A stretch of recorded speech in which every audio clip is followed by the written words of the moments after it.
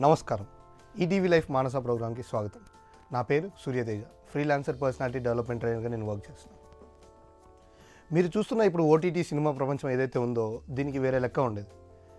మూడు వందల రోజులు మూడు వందల సెంటర్లు మూడు రోజుల్లో మూడు వందల కోట్ల కలెక్షన్ దాకా ఈ సినిమా ప్రపంచం మారిపోయింది. కట్టెల పొయ్యి నుంచి మైక్రోవేవ్ దాకా. కూ చుక్ చుక్ చుక్ చుక్ అనే ఒక రిథమిక్ సౌండ్లో మనకు మ్యూజిక్ అందించే స్టీమ్ ఇంజన్ నుంచి ఇప్పుడు ఎలక్ట్రిక్ ఇంజన్కి మన ట్రాన్స్పోర్ట్ కమ్యూనికేషన్ ట్రాన్స్పోర్ట్ సిస్టమ్ మారిపోయింది.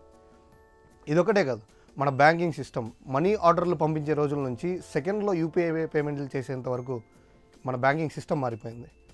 ఈ బుక్స్ ఈ మ్యాగజైన్స్ ఈ న్యూస్ పేపర్స్ వల్ల ఒకప్పుడు ఒక రోజంతా వెయిట్ చేసి నెక్స్ట్ రోజు వచ్చే దినపత్రిక కోసం చదివితే ఆ దినపత్రికలో ప్రపంచం మొత్తం ఏం జరుగుతుందో తెలుసుకునేవాళ్ళు. ఈ న్యూస్ పేపర్స్ ఈ మ్యాగజైన్స్ వల్ల మన రీడింగ్ సిస్టమ్ కంప్లీట్గా చేంజ్ అయిపోయింది. ఇదొకటే కాదు మన డైలీ లైఫ్లో గత డెబ్బై ఏళ్ళలో చాలా మార్పులు మనం చూసాం. ఈ మార్పులతో పాటు మరొక ముఖ్యమైన మార్పు కూడా ఒకటి చోటు చేసుకుంది. అదేంటంటే మన బంధాలు అనుబంధాలన్నీ కూడా ఆర్థిక బంధాలు అయిపోయాయి.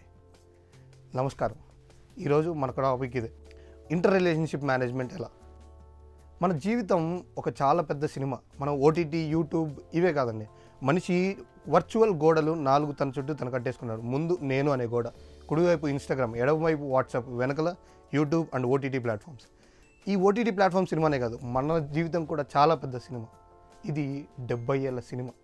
సినిమా నేను ఎందుకు అంటున్నా అంటే చిన్నప్పుడు మనం పుట్టంగానే చైల్డ్ ఏజ్ తర్వాత స్కూల్ ఏజ్ తర్వాత టీనేజ్ తర్వాత కాలేజ్ తర్వాత మ్యారేజ్ మ్యారేజ్ తర్వాత జరిగేంత డ్యామేజ్ ఆ తర్వాత కొంచెం నాలెడ్జ్ ఆ తర్వాత ముగింపుగా ఓల్డ్ ఏజ్. ఇది మన డెబ్బై ఏళ్ళ సినిమా. ఒక రచయిత ఒక మూడు గంటల సినిమా తీయడానికి ఒక నెల రోజులు కష్టపడితే మనం డెబ్బై ఏళ్ళ సినిమా తీయబోతున్నాం. ఈ డెబ్బై ఏళ్ళ సినిమా తీయడానికి మన దగ్గర స్క్రిప్ట్ రెడీగా ఉందా? మన బంధాలు అనుబంధాలు బాగుంటే మన ఇంటర్పర్సనల్ కమ్యూనికేషన్ స్కిల్స్ బాగుంటే ఈ సినిమాని సూపర్ హిట్ చేసుకోగలమా? ఈరోజు టాపిక్లో తెలుసుకుందాం. సినిమాలో మొదటగా మనం క్లారిటీగా ఉండాల్సిన విషయం ఏంటంటే మన క్లైమాక్స్. Old age. ఎలా చనిపోవాలనుకుంటున్నారో ఒక్కసారి క్లారిటీ తెచ్చుకోండి. మీ ఓల్డ్ ఏజ్ ఎలా ముగిద్దాం అనుకుంటున్నారు?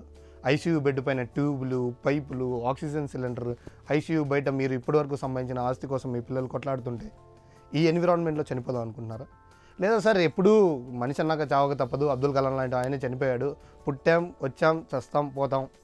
ఇదంతా రొటీనే అవునండి కాదన్న ఆబ్వియస్గా కానీ వర్క్లో ఉన్నప్పుడు కూడా ప్రత్యక్షంగా వంద మందికి పరోక్షంగా కొంత వేల మందికి తన మాటలతో ఇన్స్పైర్ చేస్తూ పనిలో ఉన్నప్పుడు వేదికపై మాట్లాడుతుంటే అబ్దుల్ కలాం గారు కుప్పగొలిపోయారు అలా చేద్దాం అనుకుంటున్నారా? ఐసీయూలో డయాబెటీస్ పేషెంట్ లాగో లివర్ ఫెయిల్ అయ్యి కిడ్నీలు ఫెయిల్ అయ్యి హార్ట్ బ్రెయిన్ ఇవన్నీ ఈ ఫెయిల్యూర్స్తో చనిపోదాం అనుకుంటున్నారో ఒకసారి డిసైడ్ చేసుకోండి.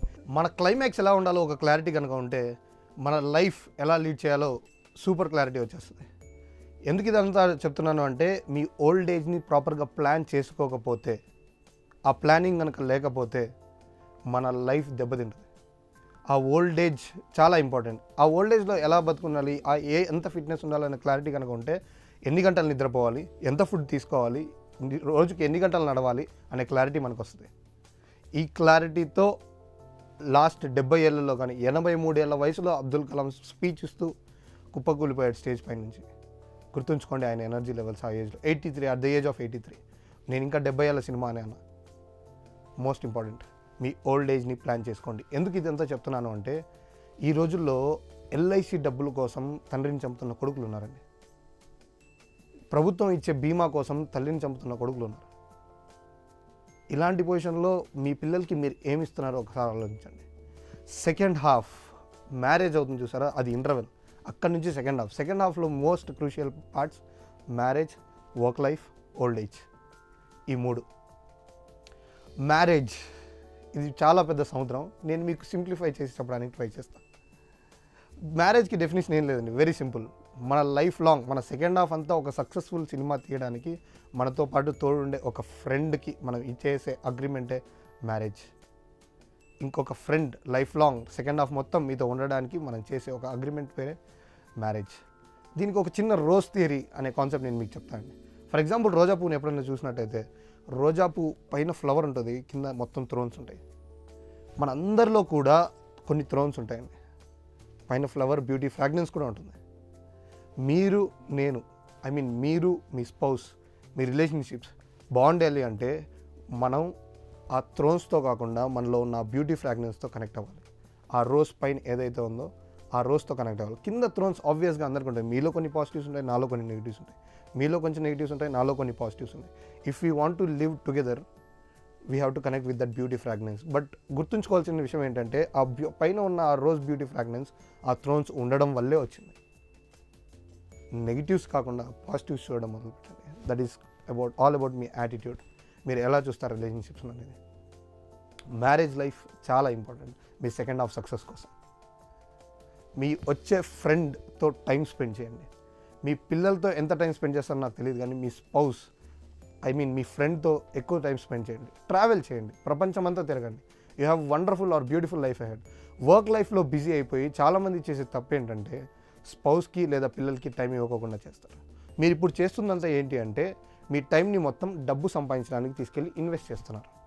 ఆ డబ్బు సంపాదించడానికి చేస్తున్న ఇన్వెస్ట్మెంట్లో మీరు మీ హెల్త్ని బీపీ షుగర్ ఆరోగ్యం పోగొట్టుకుంటూ ఇవన్నీ డబ్బు సంపాదిస్తున్నారు. అదే డబ్బు కోసం మీరు వర్క్ చేస్తున్న టైంలో మీరు మీ పిల్లలకి కేటాయించకపోవడం వల్ల మీ పిల్లలు పాడైపోతారు. మీరు ఏదైతే డబ్బు సంపాదించారో ఆ డబ్బు కోసమే రేపు పొద్దున మీ పిల్లలు గొడవ పడతారు. మీరు టైం దేని మీద ఇన్వెస్ట్ చేస్తున్నారో ఒకసారి ఆలోచించండి. మీ ఫ్రెండ్స్ ఫ్యామిలీ ఈ బాండింగ్ చాలా ఇంపార్టెంట్. వర్క్ లైఫ్కి వచ్చేసరికి పెళ్ళైన తర్వాత చాలామందికి ఫ్రెండ్స్ తక్కువ అయిపోతారండి ఎందుకు?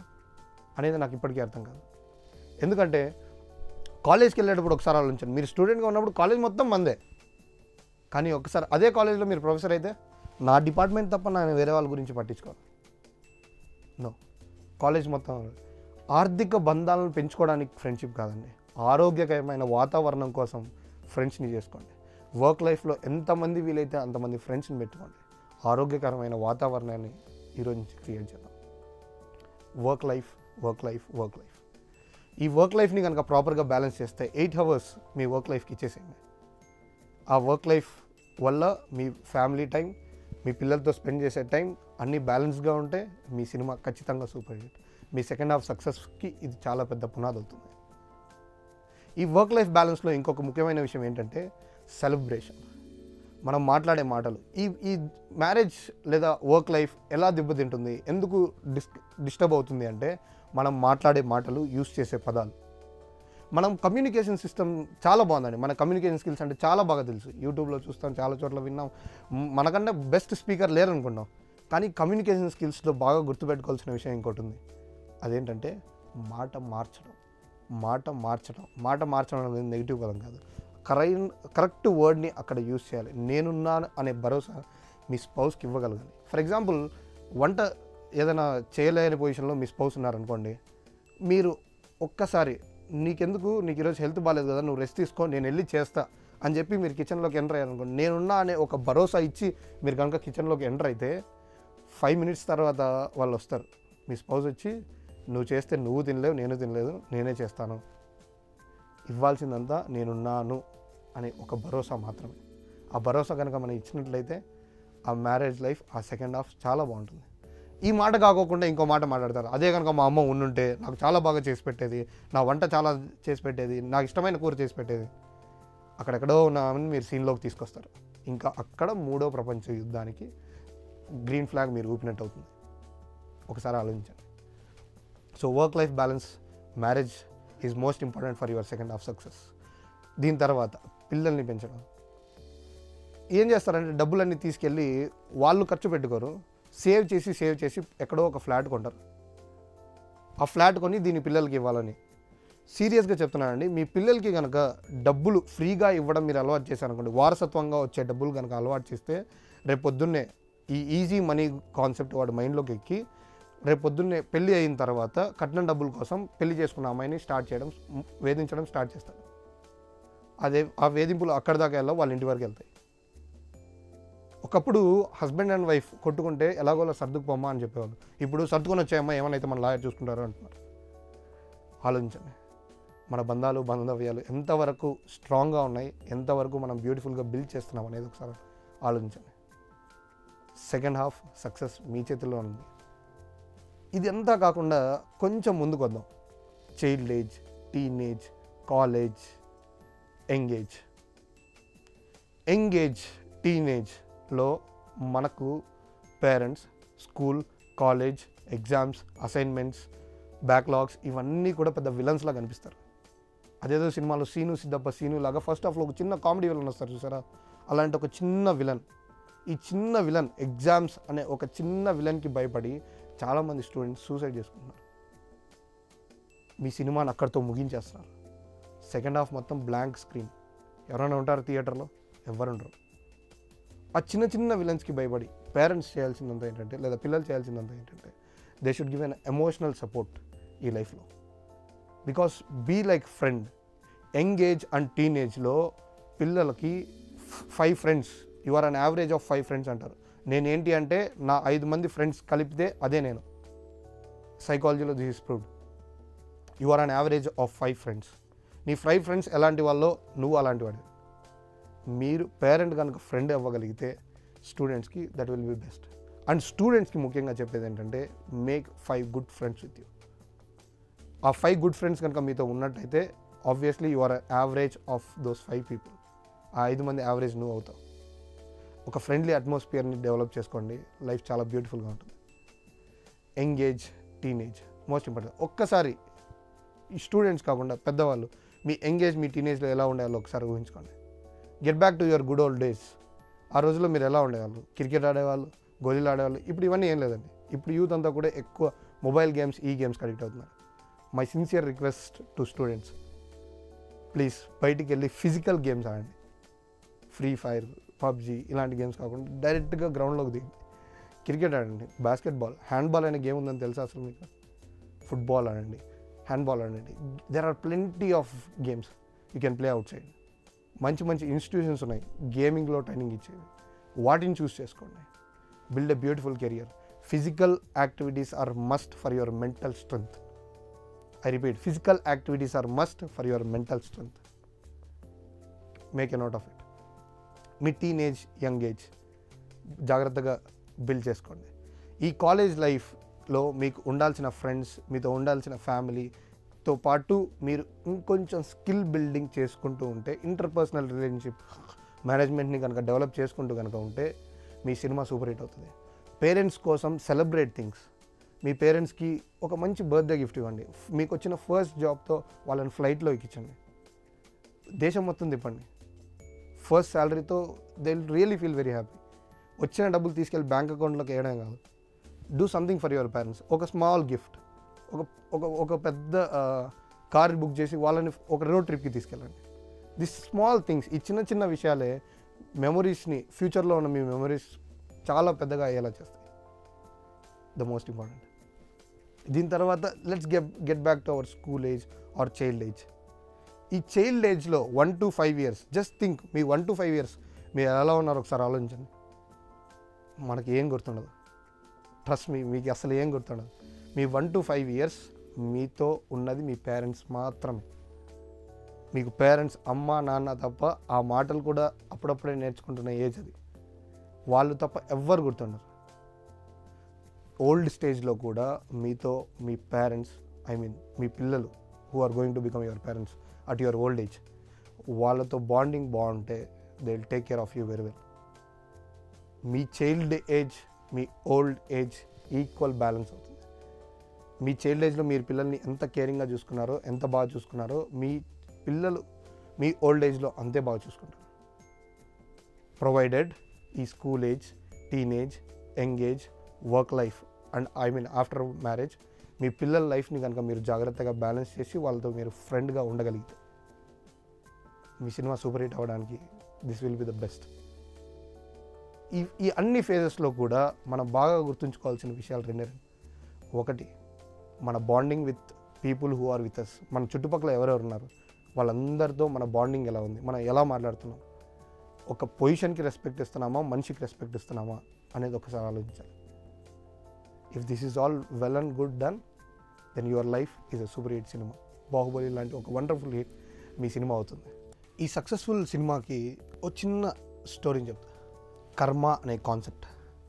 ఒక హోటల్లో ఒక పెద్ద హోటల్లో ఒక వెయిటర్ కొత్తగా జాయిన్ అయ్యాడు జాబ్లోకి. జాయిన్ అయిన వెరీ వన్ మంత్కి అతనికి పిచ్చ క్లారిటీ వచ్చింది ఏంటంటే జాబ్లో ఉంటే వచ్చే శాలరీ కంటే కస్టమర్స్ ఇచ్చే టిప్ ఇన్కమే చాలా ఎక్కువ చాలా బాగా శాలరీ కంటే ఎక్కువ ఇన్కమ్ వస్తుంది. ఈ క్లారిటీతో మనడు కస్టమర్స్ ఎవరైతే హోటల్ లోపలికి వస్తారో వాళ్ళని చూడంగానే జడ్జి చేయడం స్టార్ట్ చేశాడు. చూసి చూసిన వెంటనే కస్టమర్ హోటల్ లోపలికి ఎంటర్ అయిన వెంటనే చూసి గెస్ట్ చేసి చెప్పేసేవాడు. ఇతను ఎక్కువ టిప్ ఇచ్చే రకమా ఎక్కువ టిప్ ఇవ్వలేని రకమా? అలా చూసి కస్టమర్స్కి సర్వ్ చేస్తూ ఉండేవాళ్ళ తన జడ్జిమెంట్తో ఒక కస్టమర్ లోపలికి వచ్చాడు. అతను చూడంగానే మన వెయిటర్ కనిపించింది. "ఆ, ఇతను ఏం పెద్దగా టిప్ ఇచ్చేలా మనకు కనిపించట్లేదు ఓకే అతను మానాన్న అతను రాని అని కస్టమర్ తన మానాన్న తను వచ్చి కూర్చున్నాడు ఒక చోట. కూర్చుంటే మనవాడు వెళ్ళి మెనూ ఇచ్చాడు. మెనూ ఇవ్వగానే ఏంటి మీ హోటల్లో స్పెషల్ అని కస్టమర్ అడిగాడు. వెయిటర్ వండుకొని మెనూలో ఉన్నవన్నీ స్పెషల్ అండి. మీ ఇష్టం మీరు ఏదైనా చెప్తే అది తీసుకొని వస్తాను అన్న ఓకే మనోడు బాగా చూసి ఒక get me one chicken biryani అని చెప్పాడు. మన వెయిటర్ హోటల్లో ఉన్న తన ఇంపార్టెంట్ కస్టమర్స్ ఎవరైతే టిప్ బాగా ఇచ్చే కస్టమర్స్ వాళ్ళు ఉంటారో వాళ్ళందరికీ ఫస్ట్ సర్వీస్ చేసి అదంతా తన ఫీలింగ్ మిగిలిన టైంలో ఇతనికి సర్వీస్ చేశాడు. చికెన్ బిర్యానీ తెచ్చి తీసుకొని వచ్చి అతనికి ఇచ్చాడు. అతను బిర్యానీ తిన్నాడు. తినిన తర్వాత మన వెయిటర్ వచ్చి అడిగాడు ఇంకేమైనా తీసుకుంటారని నాకు ఇంకేం వద్దు. గెట్ మీద బిల్ అన్నాడు. మనోడు చెక్ తీసుకొని వచ్చి ప్లేస్ చేశాడు. కస్టమర్ తన జోబులో నుంచి డబ్బులు అలా పెట్టేసి వెళ్ళిపోయాడు. వెయిటర్ వచ్చి తీసి చూడంగానే బిల్ అమౌంట్తో పాటు మన కస్టమర్ హండ్రెడ్ రూపీస్ టిప్ పెట్టాడు. చా హండ్రెడ్ రూపీస్ టిప్ పెట్టగానే వెయిటర్ అనుకున్నాడు చా నేను తను ఏమాత్రం సరిగా సర్వీస్ చేయలేదు కానీ అతను నాకు హండ్రెడ్ రూపీస్ టిప్ ఇచ్చాడు. నెక్స్ట్ టైం రాని I will treat him as a king అనుకున్నాడు. Next time exact one week తర్వాత సేమ్ కస్టమర్ ఎంటర్ అవ్వడం చూశాడు. ఎంటర్ అవ్వడం చూడంగానే మన వెయిటర్ పరిగెత్తికి డోర్ తీసి sir welcome to our hotel అన్నాడు. కస్టమర్ షాక్ అయ్యాడు. వెళ్ళి కూర్చుంటుంటే చేర్ తీసి sir please take your seat అన్నాడు. కూర్చున్నాడు. మెనూ కార్డ్ తీసుకొని ఇచ్చి ఇచ్చాడు. ఏంటి మీ హోటల్లో స్పెషల్ అంటే సార్ హైదరాబాద్ దమ్ బిర్యానీ చాలా బాగుంటుందండి. ఒకసారి ట్రై చేయండి అని చెప్పాడు. ఈసారి మనోడు రెఫర్ కూడా చేశాడు. చేయగానే ఓకే హైదరాబాద్ దమ్ బిర్యానీ తీసుకున్నాడు. వెయిటర్ హోటల్లో ఉన్న మిగతా కస్టమర్స్ అందరికంటే ఈసారి ఫస్ట్ తీసుకొని వచ్చి మన వాడికి వడ్డించాడు సర్వ్ చేయగానే వేడి వేడి హైదరాబాద్ దమ్ బిర్యానీ కస్టమర్ తిన్నాడు. దిల్ కుష్ హ్యాపీగా ఫీల్ అయ్యాడు. వెళ్ళగానే సార్ ఇంకేమైనా తీసుకుంటారా? అన్నాడు. నో నో నో థ్యాంక్స్ అన్నాడు. గెట్ మీ ద బిల్ అన్నాడు. బిల్ తీసుకొని వచ్చి అలా పెట్టాడు.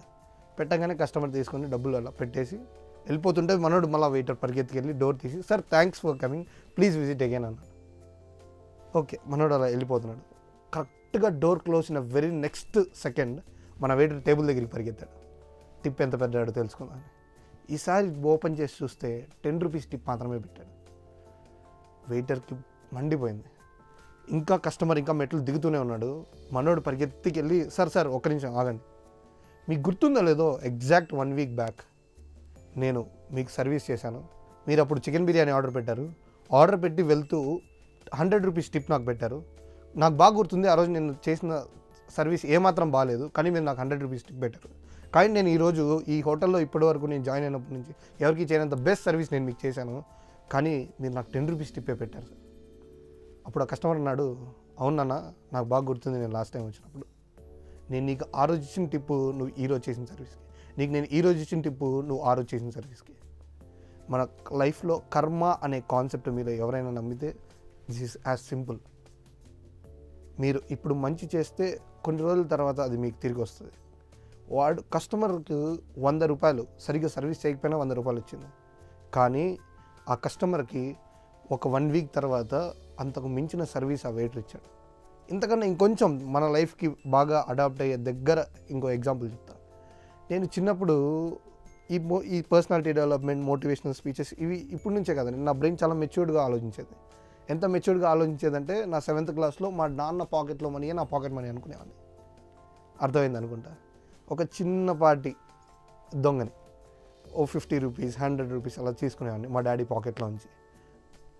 అలా తీసుకున్న ప్రతిసారి తీసుకెళ్ళి పానీపూరి డైరీ మిల్క్ చాక్లెట్స్ ఇలా తీసుకుని తినేసేవాడిని. ఇలా కొన్ని రోజులు గడిచిన తర్వాత ఒకసారి అలాగే మళ్ళీ ఇంకోసారి మా నాన్న పాకెట్లోంచి జోబ్ నోట్ తీస్తుంటే ఫైవ్ హండ్రెడ్ రూపీస్ నోట్ వచ్చింది. చూడంగానే నాకు టెన్షన్ వేసింది. ఫైవ్ హండ్రెడ్ రూపీస్ ఇంత బ్లాక్ మనీని వైట్ కన్వర్ట్ చేయడం ఎలా? మనకు ఫిఫ్ట్ ఫైవ్ ఫిఫ్టీ హండ్రెడ్ అనుకోండి. డైరీ మిల్క్ సిల్క్ తీసుకుంటే లేదా చాట్ బండి దగ్గరికి వెళ్తే అయిపోతుంది. ఇంత ఫైవ్ హండ్రెడ్ని బ్లాక్ చేయాలి వైట్ చేయాలంటే కొంచెం కష్టం అనిపించి కొంచెం జెన్యున్గా అనిపించి ఇలా ఫైవ్ హండ్రెడ్స్ తీస్తే నాన్నకి ఈజీగా తెలిసిపోతుందేమో చాలా పెద్ద అమౌంట్ ఇది అని చెప్పి జెన్యున్గా హార్ట్ఫుల్నెస్తో తిరిగి పెట్టేస్తున్నా. నేను తిరిగి పెట్టేస్తుంటే హాఫ్ నోట్ నా చేతిలో ఉంది హాఫ్ నోట్ మా నాన్న పాకెట్లో ఉంది ఈ లోపు మా నాన్న సీన్లోకి ఎంటర్ అయ్యాడు. ఆ సినిమాలోకి ఎంట్రీ ఇచ్చాడు. చూసేవాళ్ళు మీరు చెప్పండి మీరు ఏమనుకుంటారు? ఆబ్వియస్గా తీస్తున్నాను అనుకుంటారు. మా నాన్న కూడా ఇదే అనుకున్నారు. ఆ తర్వాత జరిగిన పరిణామాల గురించి నేను మీ ముందు మాట్లాడదలుచుకోలేదు. అవన్నీ బెల్ట్ సెన్స్ అవుట్ అంటారు అనమాట ఇంకో భాషలో. సో నేను కూర్చుని ఆలోచించాను ఆ రోజు దెబ్బలు తిన్న తర్వాత. అరే నేను పది ఇరవై తీసినప్పుడు లేదా ఫైవ్ ఫిఫ్టీ మ్యాక్సిమం హండ్రెడ్ తీసినప్పుడు ఎంజాయ్ చేశాను తిని తిరిగి పెట్టేసుకుంటే దెబ్బలు తిన్నాను. నాన్నకు కూడా చాలా బాగా తెలుసు. వాళ్ళు కా వాళ్ళు సంపాదించారు ప్రతి రూపాయిలో ఒక్క రూపాయి మిస్ అయినా వంద రూపాయలు మిస్ అయినా చాలా బాగా తెలుసు ఇంట్లో ఎవరో ఒకరు తీస్తున్నారని. ఆ రోజు కోసం వెయిట్ చేశారు. నేను ఫిఫ్టీ హండ్రెడ్ తీసినప్పుడు నాన్నకు తెలుసు. నాన్న అప్పుడు బాధపడ్డాడు. నేను ఇప్పుడు తిరిగి పెట్టేస్తుంటే నాన్న సంతోషించాడు. సేమ్ వే కర్మ అనే concept you do good now ఇప్పుడు మీరు మంచి చేయండి. ఖచ్చితంగా ఆ మంచి ఒక వన్ మంత్ తర్వాత ఒక వన్ ఇయర్ తర్వాత ఒక టెన్ ఇయర్స్ తర్వాత ఖచ్చితంగా మీ దగ్గరికి into double triple into ten times అయి కూడా రావచ్చు. అదే మీరు చెడు చేశారనుకోండి సేమ్ కర్మ కాన్సెప్ట్ విల్ అప్లై. మంచికి మూడింతలు అయితే చెడికి ముప్పై ఇంతలు అయి మీ దగ్గరికి రిటర్న్ వస్తుంది. మీరు ఇచ్చే ఇన్పుట్ మీ పిల్లలకి మీరు ఏదైతే ఇన్పుట్ ఇస్తున్నారో లేదా స్టూడెంట్స్ మీ కాలేజ్ లైఫ్లో మీ స్కూల్ లైఫ్లో ఏదైతే మీరు ఇన్పుట్ మీ పేరెంట్స్తో ఎలా మాట్లాడుతున్నారు మీ మాటలు మీ బిహేవియర్ మీ యాటిట్యూడ్ వాళ్ళతో ఉన్న మీ కమ్యూనికేషన్ స్కిల్స్ వాళ్ళతో ఉన్న బాండింగ్ ఇవ్ అన్నీ మీకు ఫ్యూచర్లో ఎఫెక్ట్ ఇవ్వబోతున్నాయి మీరు మంచి చేసుంటే మూడింతలు మంచిగా చెడు చేసుంటే ముప్పై ఇంతలు చెడుగా. భయపెట్టడానికి చెప్పట్లేదు. వాస్తవాలను తెలుసుకుని ఈ బంధాలు అనుబంధాలు పెంచుకొని వ్యక్తిత్వ వికాసంలో మరింత పరిపూర్ణత మీరు సాధించాలని ఒక ఆకాంక్షతో నేను చెప్తున్నాను. This is all about your bondings మీ బంధాలని బంధవ్యాలను బాగా పెంచుకోండి బాహుబలి లాంటి సూపర్ హిట్ సినిమాని మీరు తీయండి. Thank you so much this is Suryateja signing off from ETV Life Manasa